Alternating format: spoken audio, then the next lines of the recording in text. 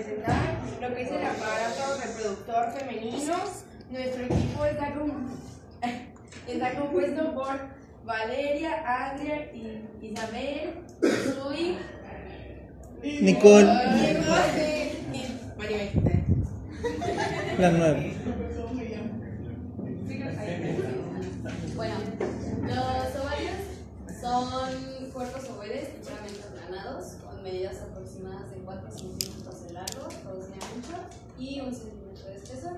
Se van a encontrar sostenidos en el ligamento ancho del útero y va a estar formado por el epitelio ovárico, que es un epitelio cúbico simple. Y está la túnica luquínea, que es una cápsula gruesa de tejido conectivo denso fibroso con células fusiformes. es la que sigue. Y eh, se va a subdividir en corteza y en médula.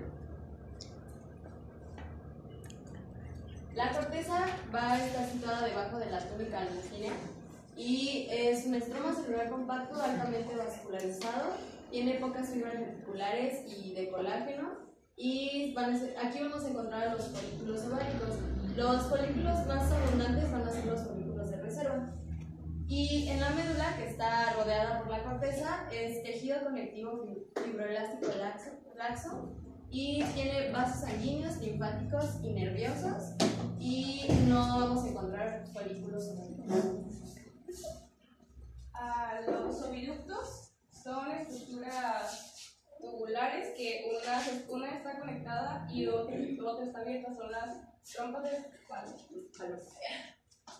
Este, y estas se dividen en tres segmentos, que es la ámpula, el infundíbulo y el istmo. Am, pues no encontré muchas imágenes que, mm, del infundíbulo, pero ahorita les voy a explicar más o menos cómo es. Em, las tres tienen una capa serosa que se compone de un tejido conectivo muy vascularizado que es laxo, una capa muscular de fibras musculares lisas. Esta puede, puede haber dos capas que son cuando están en, circular y en longitudinal. Y en medio de estas también puede haber este, tejido conectivo laxo. Y en la mucosa este, su característica es que tiene muchos pliegues, que es como los que se ven aquí. Y eh, la mucosa tiene un epitelio de revestimiento cilíndrico simple y una lámina propia de tejido conjuntivo laxo.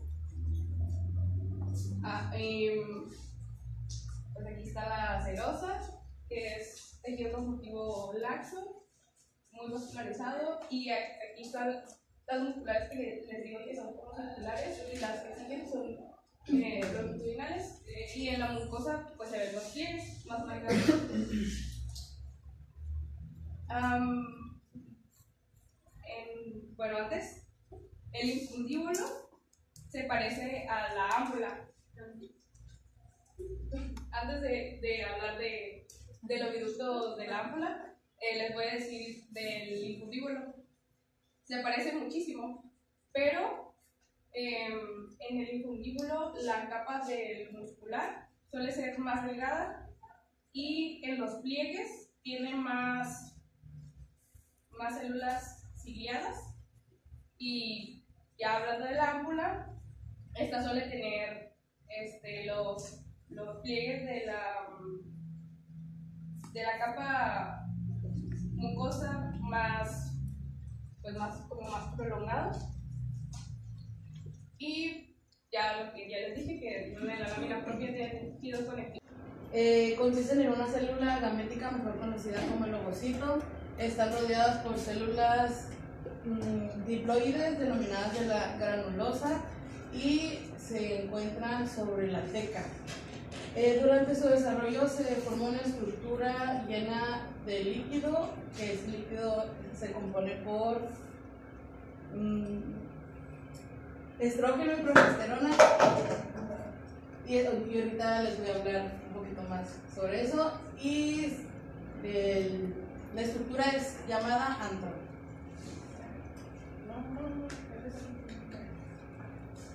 Eh, bueno, estos se clasifican pues, dependiendo del crecimiento del folículo Y pues tenemos los folículos primordiales, los folículos en crecimiento, que son folículos primarios tempranos o folículos primarios unilamina- unilaminares y folículos primarios tardíos, que, son un- que es multilaminar, pero ahorita se lo voy a explicar, y los fol- folículos secundarios centrales.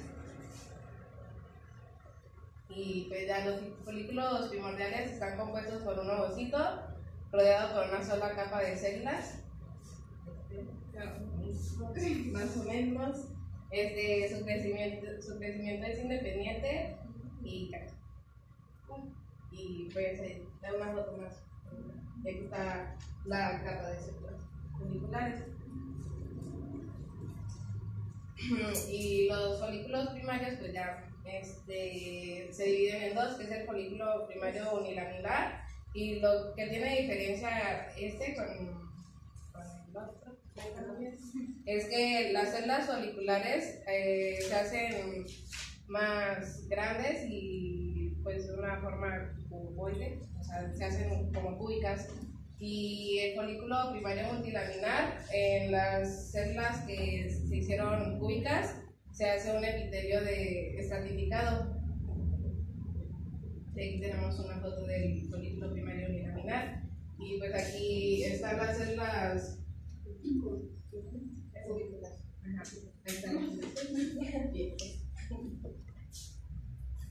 Y está el multilaminar, que ya pues la, solo la, la única capa que tenía el otro, pues se hace un epitelio.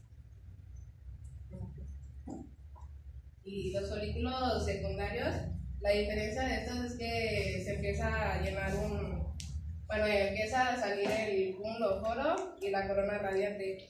Em, y tiene tres capas, que es la granulosa, la teca interna y la teca externa.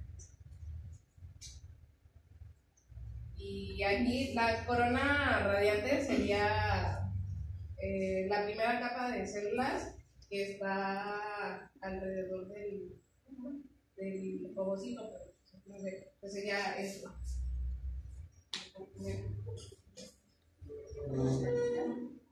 Y pues aquí se ven ya mejor las capas de, los folículos secundarios, que es la granulosa, la teca interna y la teca externa. Y los folículos prevoluntarios eh, se crecen cada, cada ciclo, ciclo menstrual y la diferencia de este es que se hacen pues, muy grandes. Y aquí, aquí tenemos a la izquierda un folículo provoluntario y a la derecha es uno secundario. Bueno, el antro folicular, como ya mencionado, es una cavidad rodeada por células foliculares y llena de líquido, el cual este líquido contiene progesterona y estrógeno. En mamíferos, el epitelio folicular muestra grandes cambios durante la ma- maduración del folículo. Inicialmente es un epitelio de células cúbicas. Bueno, aquí se notan las células cúbicas. Este es un corte de ovario de mamífero, donde podemos observar las células cúbicas, eh, los un folículo primario y un folículo secundario. Y todo eso es el cuerpo lúteo. Vamos a explicar qué es el cuerpo lúteo. Eh, las cuales proliferan formando varias capas celulares. Proliferan significa que las células van aumentando en mayor número. Entonces aquí, como anteriormente estaba solo la, capa, la capa de- del epitelio cúbico, aquí se va formando de dos a tres capas. Y también es un corte de mamífero. Ya. Después, posteriormente, de manera granular, se forman espacios entre las células foliculares ocupados por líquido folicular. Finalmente, esos espacios confluyen en un gran espacio formando el arco folicular. Aquí tenemos un corte de mamífero, los volcanes, donde podemos observar el folículo de Graf, que el folículo de Graf es ya la célula madura, la, es la célula final madura. Eh, el ovocito con células foli- foliculares formando la, corona radiada, el cúmulos o furos, que esto significa que son las células que rodean al ovocito, y la zona granulosa. bueno, el útero tiene una pared que es gruesa y está formada por tres capas, que es el miometrio, que tiene capa gruesa de músculo liso, el endometrio, que reviste la cavidad del útero, y el perimetrio, que está formado por tejido con- conectivo rodeado por peritoneo. Eh, lo del serosa ya te empecé a hablar. Y bueno, está el miometrio, que es la capa más gruesa del útero y se compone de fascículos o haces grandes de fibras musculares lisas que están separadas por tejido conjuntivo. Bueno, aquí vemos que se ve la cavidad uterina, luego va la capa de endometrio, que es donde se ven las glándulas endometrias, y aquí está el epitelio. Y aquí en el endometrio lo más importante es que están las células musculares lisas y que tiene tejido conectivo, y aquí está la parte del perimetrio. Eh, para el endometrio está conformado por un epitelio y una lámina propia con láminas tubulares simples que a veces se llegan a ramificar. Las células se revisten en una cavidad uterina que se organizan en un epitelio cilíndrico simple formado por células ciliadas y células secretoras, que es como aquí se ve, no se alcanza a ver con la imagen, pero ahí está la, la cavidad uterina y todo esto es el endometrio. Y el tejido conjuntivo tiene una lámina propia que tiene una gran cantidad de fibroblastos y una matriz abundante de extracelular. De todos los fibroblastos están aquí, que todo lo que se ve como rosita claro es lo de la matriz y la lámina. Ahí están los fibroblastos.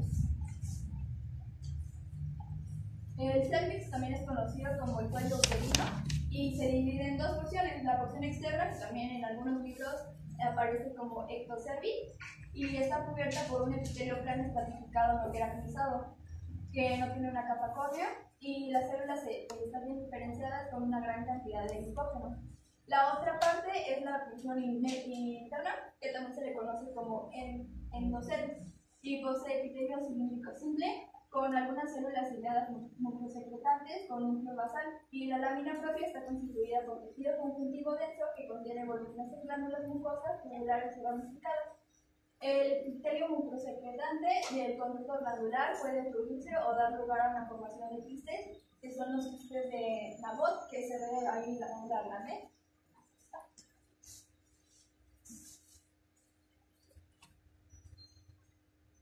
Y bueno, aquí podemos ver las diferencias. Así se ve como más chiquita, pero esa parte izquierda es el endocervix y esta es la parte del endocervix. Acá se hace más grande y podemos ver las diferencias. En el endocervix se ve la glándula, que es esta, y el epitelio cilíndrico simple, que es lo que está rodeándolo.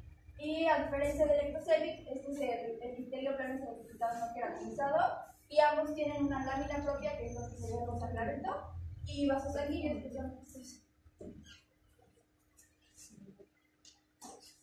Eh, los genitales externos están los labios vaginales, están cubiertos por un epitelio plano estratificado queratinizado. Pueden estar engrosados por la presencia de tejido adiposo entre ellos. Y la porción media de entre los labios menores abren glándulas mucosas lubricantes. En sus porciones externas pueden presentar folículos gruesos y glándulas sebáceas. Y bueno, aquí tenemos eh, una imagen de todo lo que vamos a ver: es clítoris, labios mayores, labios menores y la piel. El monte de Venus es la presencia de folículos pilosos, inusualmente oblicuos. En la grasa, en la grasa subcutánea hay fibras musculares lisas y hay abundantes glándulas apócrinas y glándulas sebáceas prominentes. Aquí se ven todas las glándulas que son glándulas. Bueno, también están los dos tipos de labios, tanto mayores como menores. Este, estos son repliegues de piel pigmentada que, que limitan la hendidura vulvar. El centro de estos, plie- de estos pliegues está constituido por abundante tejido adiposo, subcutáneo y algunas fibras musculares. Estos son los adiposos y, y con las flechitas está señalado las fibras musculares lisas y tanto la superficie externa como la interna de los labios mayores desembocan abundantes glándulas sebáceas y sudoríparas en la superficie externa de la piel que está cubierta de, de, de- que ya estamos grandecitos desde la pubertad, ya está llena de vellos. Este, también aquí se observa un, este, un conducto sebáceo y este es un epitelio queratinizado. Ya. Ahora están los labios menores, que son de este, son dos pliegues delgados de piel que limita el vestíbulo eh, y están ocultos por los labios mayores. Tienen un eje de tejido conjuntivo laxo. Y, y con fibras elásticas que son muy abundantes y eh, también tienen vasos eh, sanguíneos que es cuando se dilatan pues en el acto sexual este, son las que producen la mucosa este, y en este caso que presenta un, el color de la piel es muy pigmentada es, eh, perdón, es muy pigmentada porque presenta presenta glándulas sebáceas y eso quiere decir que no tiene vello También en este caso está el clítoris, que es una estructura homóloga al pene en el caso de los hombres. Y este está constituido por tejido eréctil, que quiere decir que es un cuerpo cavernoso, que en, en el cuerpo femenino este, este tejido es muy poco desarrollado y este presenta un epitelio plano estratificado queratinizado que se apoya en una lámina propia y están en dos porciones y tienen muchas terminaciones nerviosas.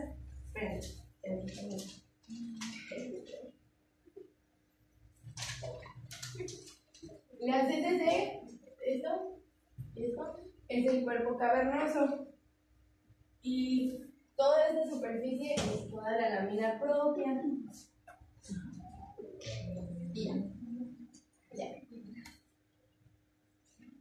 Y luego está el vestíbulo vaginal que presenta un epitelio plano estratificado no queratinizado y presenta dos glándulas mucosas que son las vestibulares, que son, que también se les dice pequeñas o de esquene, que son las que están aquí.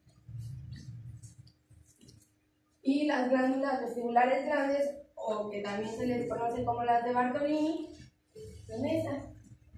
De hecho, se ven mucho más grandes, no se nota tanto, pero